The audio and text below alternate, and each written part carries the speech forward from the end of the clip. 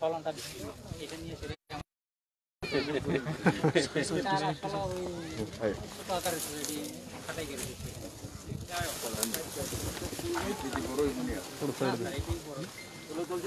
চার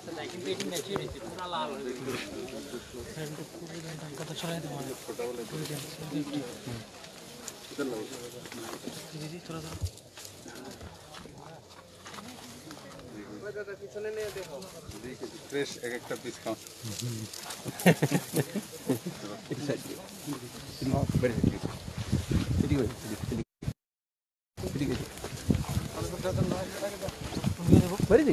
একটা বাড়ি সব ড্রাই জায়গা তো সেটা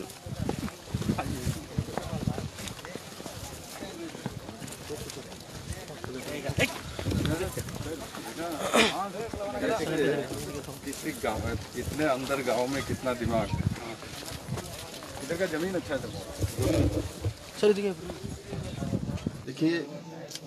ये आत्मनिर्भर बनाने के लिए किसान का ही ज़रूरत है।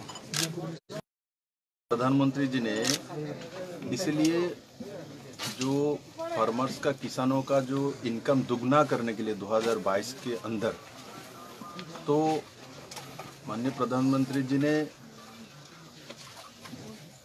ये जो धारणा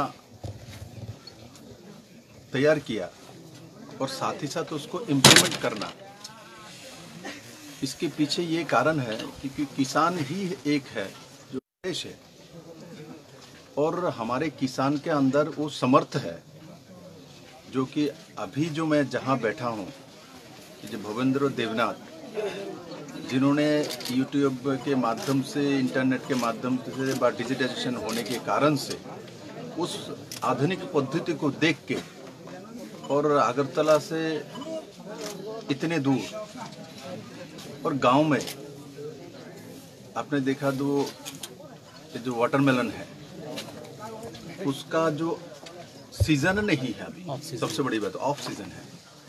तो ऑफ़ सीज़न में वाटरमेलन और वो आधुनिक पद्धति में माचा करके उसका फलन करना। और साथ ही साथ दुगना से ज़्यादा ऐसे जो हमारे भारतीय पद्धति जो है सीज़न में मिट्टी के ऊपर होती है। और ये माचा करके तो मैंने उनको पूछा दो गुना तीन गुना होती है। और बहुत कम जगह में, बड़े मात्रा में हो सकता है। तो ये जो सिस्टम है। इसको उन्होंने किसी एग्रीकल्चरिस्ट से बा, किसी रिसर्च होल्डर से नहीं सीखा।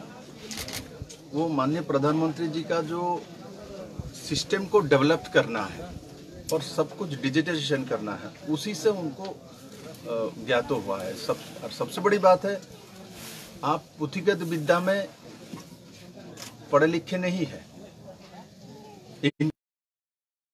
ज़मीन नहीं है। ये बरगादार है दूसरे किसी का ज़मीन लिया हुआ है। और उस ज़मीन के बदले में उनको कुछ पैसा आप दे देते हैं।